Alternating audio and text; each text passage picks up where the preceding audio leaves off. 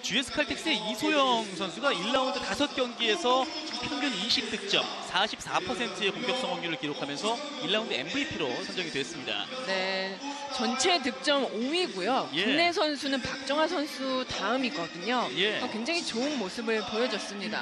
특히나 시즌 초반 이소영 선수의 이 활약이 GS 칼텍스의 어떤 연승의 분위기를 이끌었다 이렇게 말할 수도 있잖아요. 예. 단한 경기 KGC전에서만 이소영 선수의 부진이 있었는데 그날 이소영 선수가 컨디션이 좋았으면 또 어떻게 됐을지 모르겠습니다. 예, 이소영 선수가 1라운드 MVP로 선정이 됐고요. 경기 전에 아, 기분 좋은 또 수상을 했습니다.